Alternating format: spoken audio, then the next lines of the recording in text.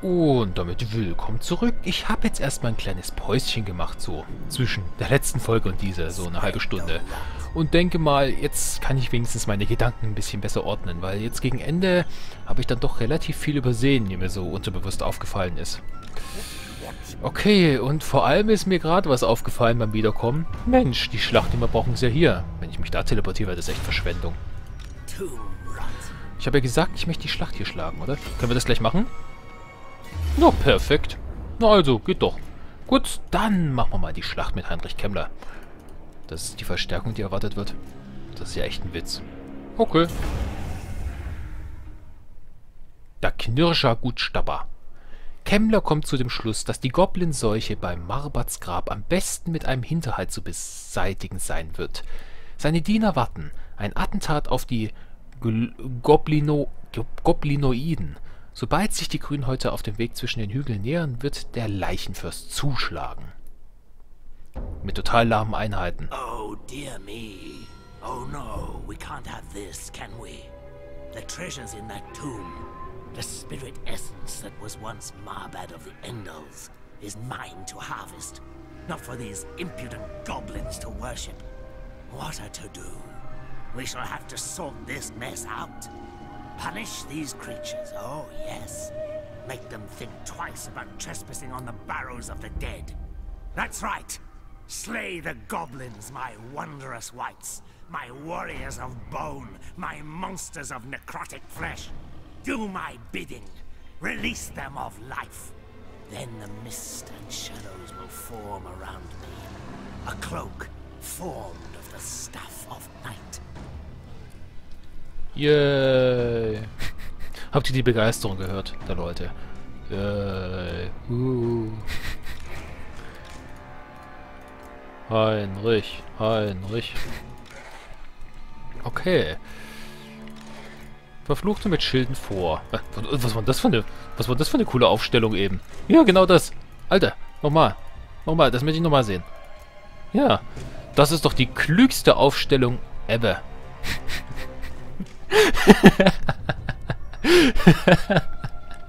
bitte hinten anstellen. Der nächste, bitte. Der nächste. Die werden nur einzeln in die Schlacht geworfen. Das, die müssen alle eine Nummer ziehen da hinten. Da hinten ist so, ist so der Automat, wo man die Nummer zieht und dann geht's so los. Alter. Herrlich. Einfach klasse. Es sind solche Augenblicke, die einfach... Mmh nie in Vergessenheit geraten. Ich komme mir vor, als würde ich im Hinterhalt sein und nicht den Hinterhalt machen, so kacke, wie ich hier aufstellen stelle muss. Hier geht nicht viel. Komm, meine Kavallerie kommt mal von der Richtung dann. Meine Gruftschrecken quetschen sich mal hier mit dazu. Auf geht's. Mein Murteschrein läuft mal hier mit der Hauptarmee. Und meine Helden natürlich ebenfalls hier mit. Kennt ihr noch den Knubbel of Death? Ich würde sagen, er schlägt zurück. So, das sind nur ein paar Ork-Jungs, ich bitte euch. Grünhäute nähern sich dem Grab. Lassen wir die Falle zuschnappen. Alles klar. Alles bereit, Boss. Echt tolle Falle, ich bin beeindruckt. Heinrich, das bist der beste Fallensteller, den ich hier gesehen habe. Wer geht denn davor? Oh, der Flugfürst. Na gut, so schlecht ist es nicht mal. So. Oh, die haben einen Schamanen dabei. So, rein da.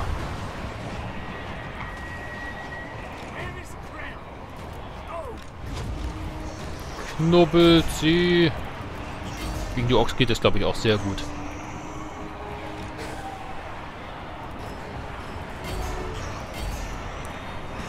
So. Liebe Kavallerie. Ihr kommt dann mal von da hinten. Habe ich schon erwähnt, dass das die beste Hinterhaltsposition ever ist. Oh, wie können wir da... Das vermisse ich mit Roland auch. Das müssen wir auch mal irgendwann mit Roland mitnehmen, weil dieser Fluch des Alters, der ist unglaublich nützlich. Gerade bei so einem Knubbelkampf, wo die Gegner auch geknubbelt sind, da geht es wirklich um Buffen und Debuffen. Und das ist dann so unglaublich effektiv, wenn man alle Gegner und alle Verbündeten trifft. Das hat schon was.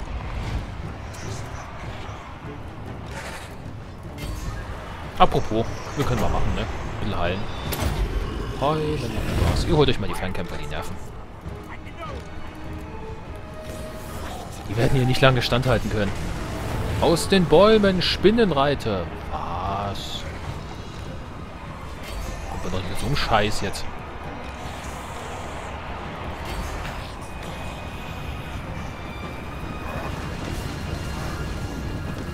Richtig schön durch. Jawohl. Seht ihr, die normalen Fluchreiter sind auch sehr effektiv. Auch im Ansturm. Sollte man nicht unterschätzen, nur weil der Wert zu gering ist. So, ihr seid jetzt mal fertig. Dann stürmt hier noch ein bisschen rein. Was?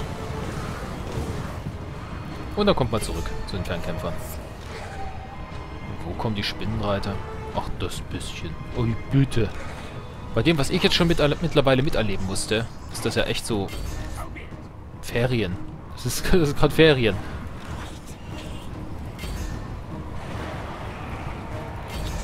Einfach nur Ferienzeit gerade. Heinrich Kemmler auf Urlaub. Das ist so gerade seine Urlaubsbeschäftigung. Guck mal wir haben drei, wir haben drei Verfluchte verloren. Yay.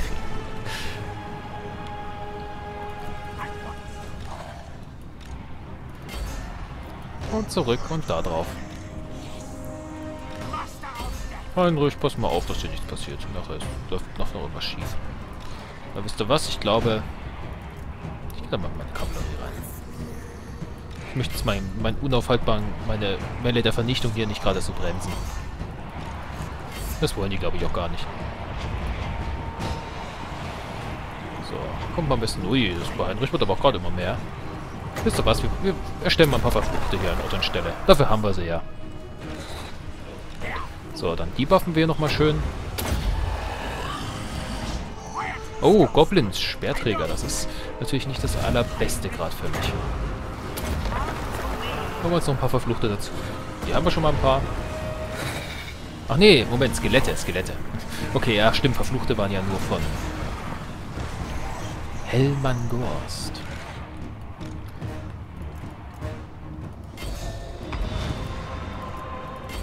Ich würde sagen, das war, ein, das war jetzt mal Kemblers Wochenendausflug. War ganz lustig.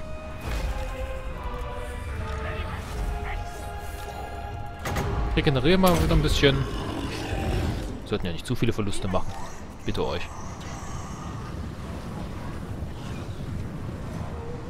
Na, kriegen wir den einen Ritter wieder zurück. Jo.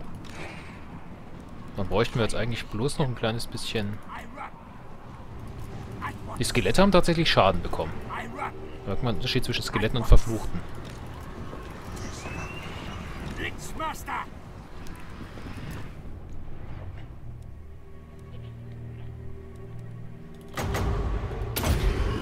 So, dass Heinrich Kemmel noch ein bisschen geheilt wird und die. Das dürfte noch... Yo. Okay. Wir haben keine Verluste gemacht. Nicht einen einzigen. so was sieht man doch gerne. Schön. Hey, und was habe ich dann für zwei Leute getötet? Denkt er sich wohl. Ja komm, nehmen wir das Geld mit. Geschafft. Und wir haben jetzt bekommen Mantel von Nebel und Schatten.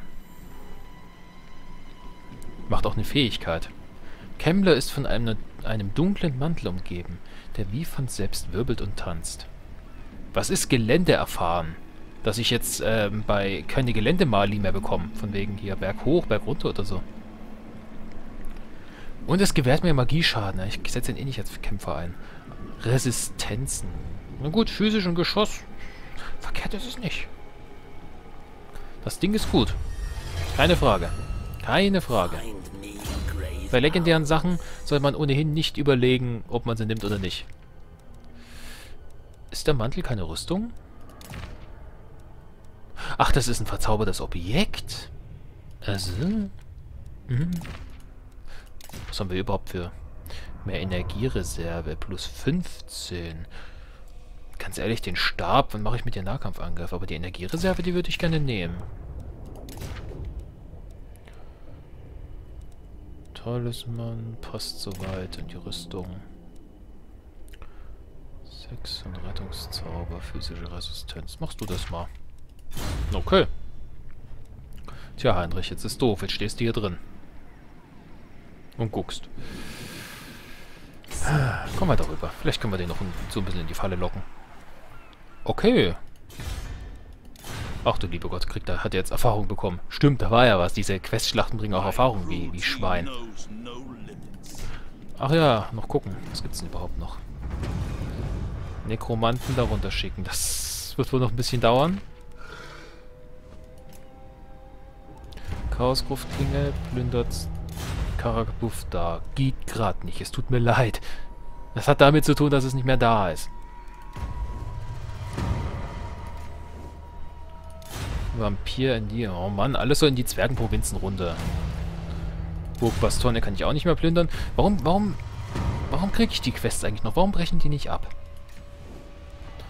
Nekromant nach Mittenheim. Das funktioniert auf jeden Fall. Du bist ja ein Sender und wir haben gebaut, oder? Die Kosten erhöhen sich ja jetzt nicht einfach nur, weil du, weil du weg bist, oder? Dann kannst, können wir wenigstens diese Quest Bluttrinker mal machen. Und jetzt sollen wir noch Grünbock plündern. Das mir gehört. Irgendwie, was Plündern angeht, kommt das Spiel nicht so ganz mit, dass das nicht funktioniert, oder? Das ist leicht schade. Ja komm, wir kriegen es noch vergünstigt. Der ist noch, der ist noch eingesetzt.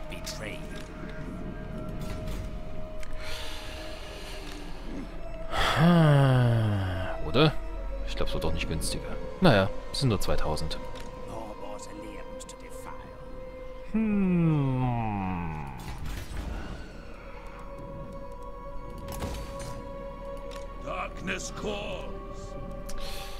Hier unten war dir bei dir auch alles in Ordnung, Mani, oder? Ich glaube, den Zug habe ich schon gemacht. Ja. Okay.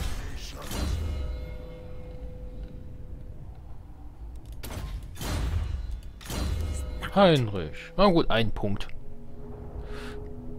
Das ist kurz vor Max-Level. Wahnsinn. Mensch. Das hätte ich noch besser machen können. Ich kriege noch zwei Punkte. Ich hätte wirklich Ritter danach noch voll machen können. Für Kavallerie. Gut, im Notfall nehme ich jetzt einfach mit Heinrich Kemmler dann fliegende Einheiten mit.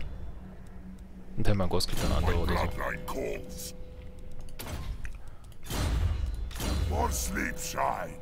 Ähm, Hildbrand. Bitte. Euch Vampirfürsten mache ich doch immer gleich.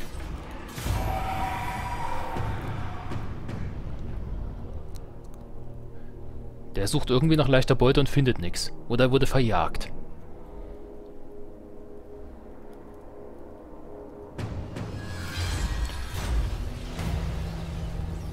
Hm.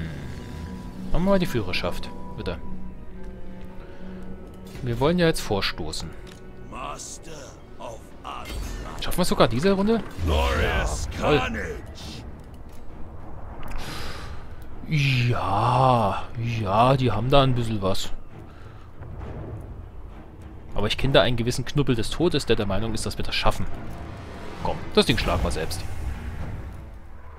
Das ist mal was Besonderes. Das ist unsere Racheaktion an diesen Schweinen da. Ja, Schweine. Ich werde dann wahrscheinlich wirklich tauschen mit Heinrich Kemmler. Flugeinheiten und andere kriegt Kavallerie. Oder ich gebe einfach allen Flugeinheiten. Ist auch okay. Ah ne, jetzt habe ich ja... Wird sich zeigen. So. Verstärkung. Äh, egal. So, ihr zieht die erste Aufmerksamkeit auf euch. Hier ist er dann hier. Der Hände. Und ihr passt ebenfalls ein bisschen auf, dass alles läuft. Worte schreien da rein. So, alles schön nah beieinander.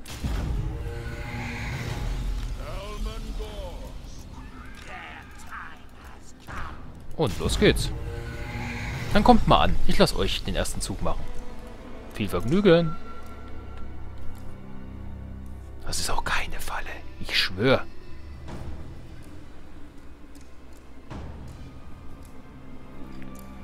Hm.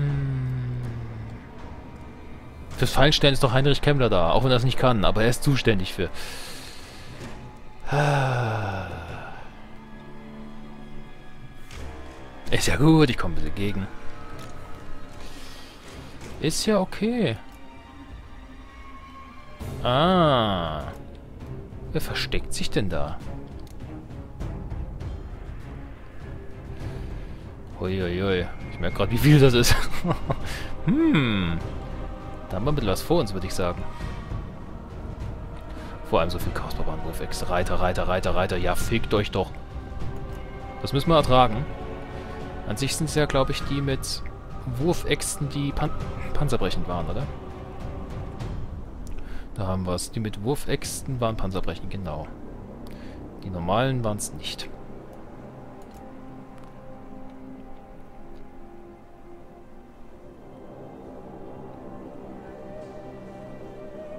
Dankeschön. Wirklich freundlich. Schön ist, dass wir uns trotzdem regenerieren, so ein bisschen. Okay, ich würde mal sagen.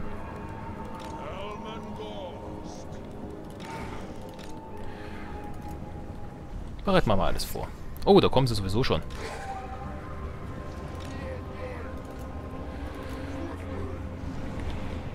Bisschen Gegensturm vorbereiten. Und ihr viel Vergnügen. Wir gehen da jetzt wirklich in einen Knubbel rein. Nicht so weit aufteilen, einfach rein und Spaß haben.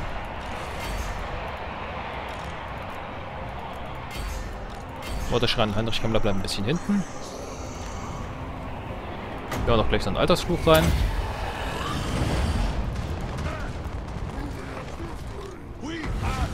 Und irgendwas tut hier gerade unglaublich weh. Warum eigentlich? Oh gut, wir können relativ gut heilen. Soll nicht das Problem sein. Heinrich Kammler hat auch irgendwas wehgetan. Was ist denn hier los?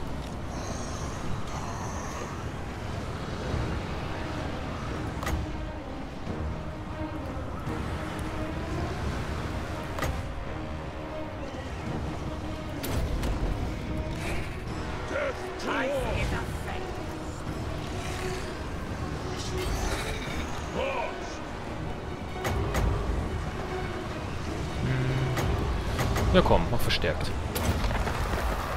Die Idee gefällt mir. Wie fehlt euch sowieso noch ein Unterstützungsheld? Fällt mir gerade auf. So, hau mal rein. Hier schön stehen. Und guckt, dass ihr weiter unterstützt. Oh. Wen habe ich denn da vergessen? Oh Mann, ey. Oh fuck, ich habe meine Platten jetzt total... Oh Mann, die habe ich ja total zerreißen lassen.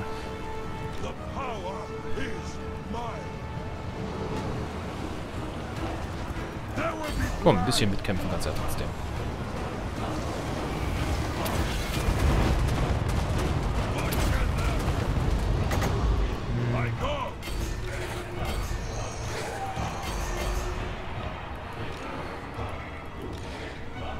Super, meine Blattnetz hat es total zerlegt. Was hat man davon, wenn man wirklich so eine Truppe hat, die nicht darauf ausgelegt ist, Kavallerie mit dabei zu haben? Da vergesse ich es einfach mal, dass ich überhaupt welche habe. Obwohl ich sie vor kurzem erst aufgestellt habe. Kavallerieversuch brauche ich eh nicht versuchen zu verfolgen. Eigentlich würden es gegen die, äh, gegen die normale Verfluchte wunderbar tun in großer Masse. Auch wegen ihren Schilden noch. Die ganzen blöden Speere. So, mal alles ein bisschen zusammen. Du hast das Problem, dass du sowieso zerfällst im Laufe der Zeit. Bilden die halt wirklich so einen blöden Trollkreis um mich.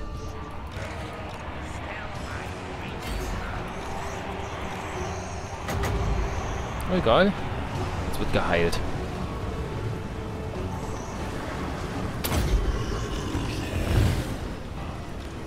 Ach, da ist noch der feindliche Kommandant drin.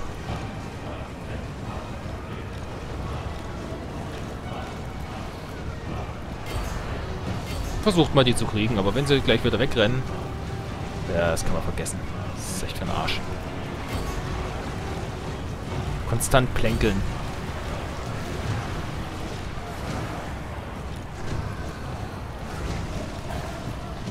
Irgendwann geht denn die Munition aus. Da haben sie auch keine Lust mehr. Wir können ja gegenheilen, obwohl auch nicht ewig. Aber die Munition geht dann doch relativ fix aus, muss man sagen.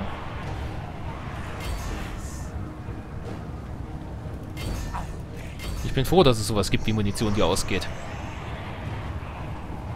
Ich denke, bei Rome Total War kann ich mich noch erinnern, da gab es auch, da gab es einen, einen realistischen und einen Action-Modus. Beim Action-Modus gab es keine Schlachtaufstellung vorher, aber es gab auch keine Munitionsbegrenzung.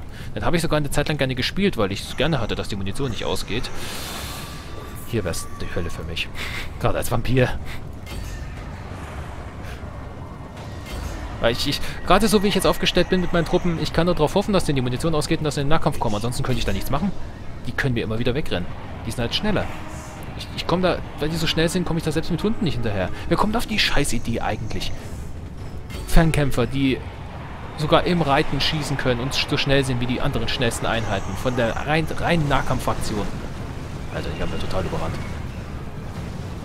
Das ist echt die totale Trollerei.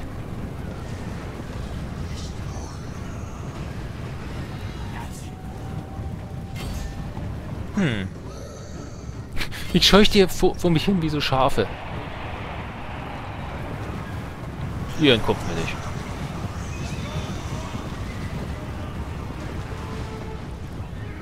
Ah. Stabile Bindung. Alles klar. Es ist tatsächlich so. Solange keine normalen Nahkämpfer mehr da sind, ziehen sich die, zieht sich der Rest zurück. Das ist irgendwie kaputt.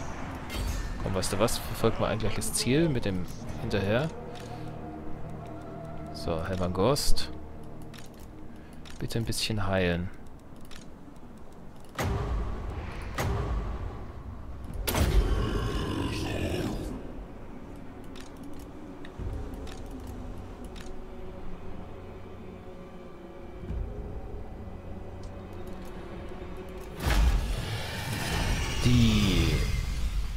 Das Chaos hat ja nichts gegen große Einheiten. Wir müssten wirklich auch mit massig Gruftschrecken einfach kommen. Damit würden wir die so übel überrennen. Die Regeneration ist auch super. Die Blood Knights haben sogar überlebt. Warum auch immer. Ausrauben bitte. Dann camp ich hier einfach ein bisschen. Hm, wir müssen erstmal eine Runde so überdauern. Dann weiß ich's nieder. Hm.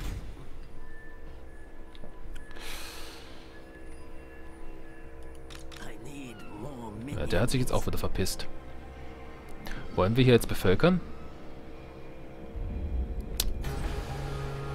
Wittenheim, Karoburg, Weißmund.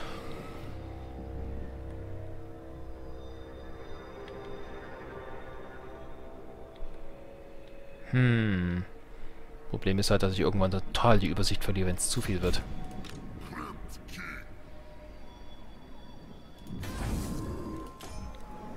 Deutsching und Ehrengrad. Wir könnten uns das gesamte restliche Gebiet noch holen.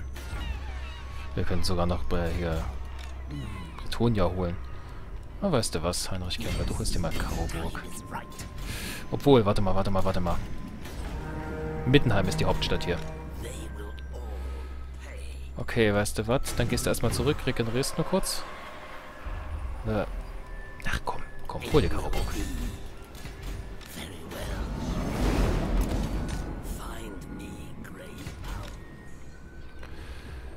So, dann gucken wir mal, dass wir das alles wieder vorantreiben. Vlad kann weiter seinen Death Star aufbauen. Ja, ich weiß. Very well. It is done. Bow before me. Hm, ja, wir können wie gesagt einen Nekromanten mit reinnehmen. Bei ihm als Helden. Wir könnten uns extra einen ausbilden. Wir haben jetzt mittlerweile wieder Platz.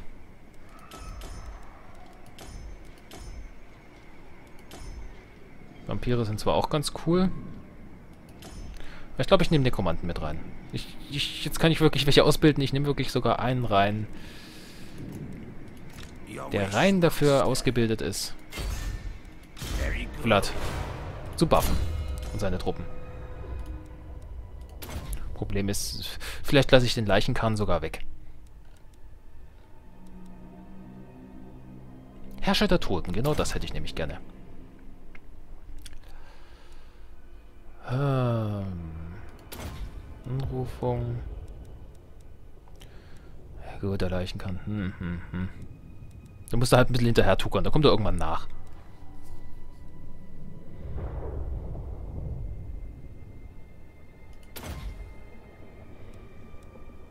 Hm.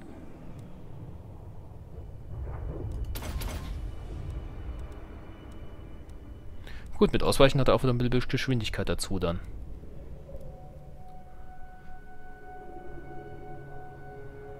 Vielleicht lasse ich auch wirklich den Leichenkern weg, weil ich meine, mit dem Pferd ist er auch ganz glücklich bestimmt. Klar habe ich dann diesen unheiligen Sog nicht, aber wir haben ja eh einen Mordeschrein dabei. Und ich glaube nicht, dass dieser Effekt ja kumulativ wirkt. Aber den Tasche der Toten hätte ich halt gerne drin. Und vielleicht noch jemanden, dass wir einfach zweimal die Anrufung von Nehelek machen könnten. Äh, Nehek.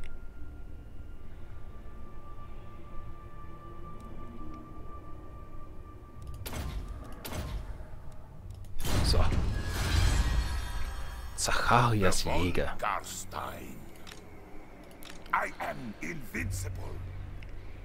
Okay.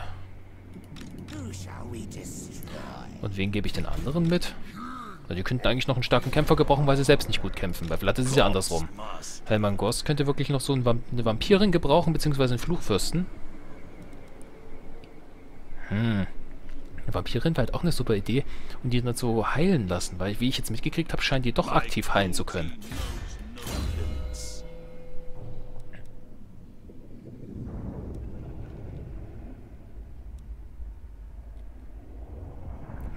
Warum habe ich das eigentlich nicht mehr mitgenommen?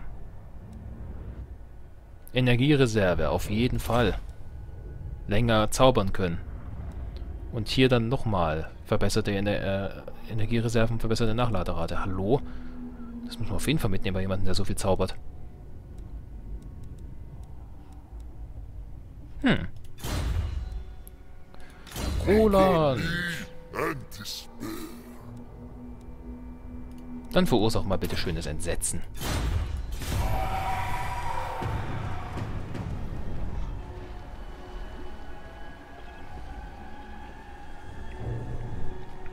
Unser lieber Manni. Oh, ja, das ist ja, das ist ja wirklich Selbstmord, was du hier machst. Viel Spaß. Das braucht man nicht zu schlagen. So klar, wie das ist.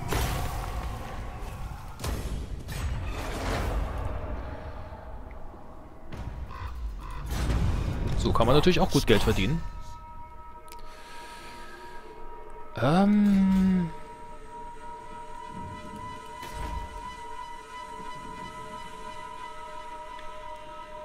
Schaut's aus, ne? Wir haben sogar Plus. Ich könnte rein theoretisch sogar weitergehen. Komm, wir probieren es mal. Kolonisieren. Jetzt haben wir zwar kaum noch Truppen, sind sehr angreifbar. Was dürfte noch gehen? So. Wohin musstest du? Du musstest auch nach Mittenheim. Das war Bluttrinker, oder? Mittenland. Ja, Tatsache. Alles klar, Mama.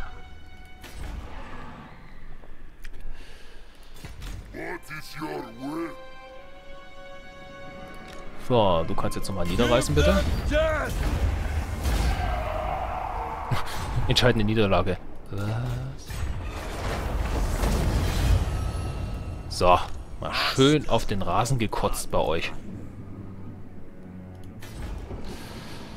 So was sieht man doch gerne.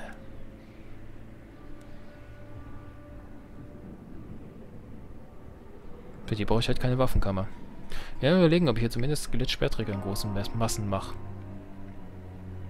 Oder doch Todeswölfe einfach, mit denen ich dann den Gegner schnell verfolgen kann. Sogar ihre blöden... Aber ihr habt ja ihr habt gesehen, die KI gibt auf, sobald alle anderen Nahkämpfer weg sind. Wir müssen uns einfach volle Kanne darauf konzentrieren, so stark es geht, alle Nahkämpfer zu vernichten. Und alle Fernkampfkavalleristen werden dann sich eh zurückziehen. Hm, ich mache trotzdem was Ungebäude hier. Nur für den Fall, dass wir mal sowas machen wollen. Hier haben wir ja unsere Hunde und Flugeinheiten. Wir können sogar den Weg gehen. Und sogar hier ein paar Wargolfs dann machen. Okay. Du, mein lieber Roland, wirst mal zurückgehen und dir ein paar Gule wiederholen. Und durch anderes Zeug ersetzen. Ich meine, die normalen Skelettkrieger bräuchten wir beispielsweise nicht, außer diese Wiedergänger. Skelettsperrträger sind klasse und Gule. Und dann Skelettspe äh, ja, Skelettsperrträger Gule. Die normalen brauchen wir nicht eigentlich. Welcome to my Oh, stimmt. Ich habe da was ersetzt. Ich habe das ja anders gemacht. Hm, da war was. Ja, wie machen wir das jetzt mit dir, Roland? Hunde oder nicht? Ja, vielleicht einfach nur mal massig Hunde. Weil die sind ja noch mal ein Stück schneller als die Fledermäuse. Lustigerweise haben die... Aber ich habe die noch nicht drauf geskillt. Ne, solange ich die noch nicht drauf geskillt habe, passiv, lohnt sich's glaube ich nicht. Dann nehmen wir den Sperrträger mit.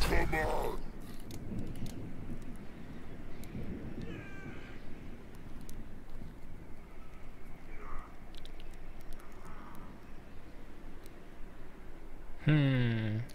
Aber wir lassen es erstmal ganz weg. Wir können ja Kosten sparen mit Tirona, solange gerade nichts los ist.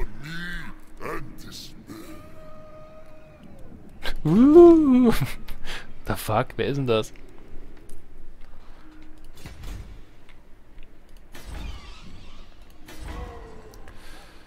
Hier können wir auch mal machen, oder? Einfach, dass wir mal das, das blöde Bausymbol weghaben alleine.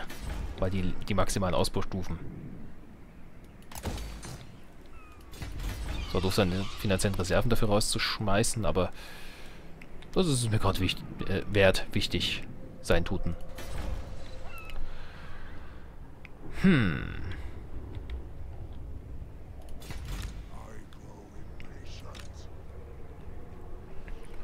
Vlad, du bist bald soweit. Das finde ich wunderschön.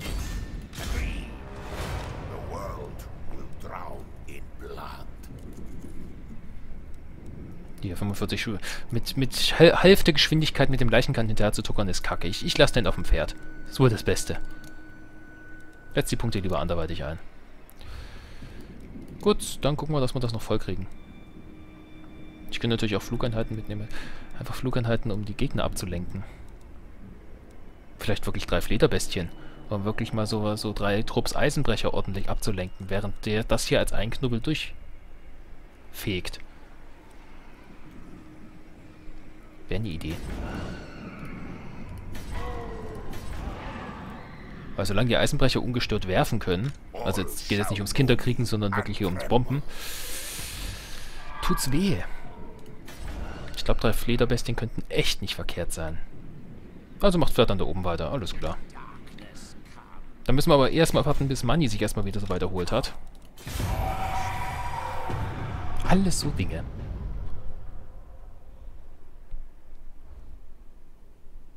Oh Gott, nein.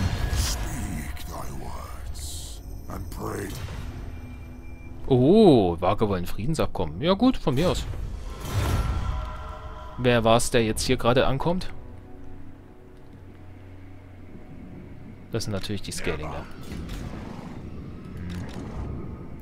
Nix da. Nix da. Karoburg Mainz. Damit das klar ist. Wir uns verstehen. Um dem Ganzen noch ein bisschen Nachdruck zu verleihen. Ein bisschen hier entgegen. Wenn es jetzt klappen, wir können das da oben alles besiedeln halbwegs. Ich mache jetzt nicht den, den Stress mit den Nekromanten überall, da ich jetzt überall günstig baue. Ich gucke jetzt, dass ich überall einfach ausbaue. Nach bester Manier.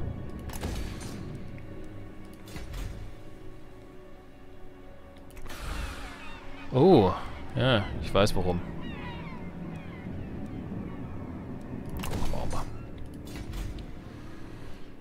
Okay, aber wenn ich auf, so auf die Uhr gucke, würde ich sagen, ich bedanke mich wieder fürs Zusehen und wir sehen uns dann in der nächsten Folge.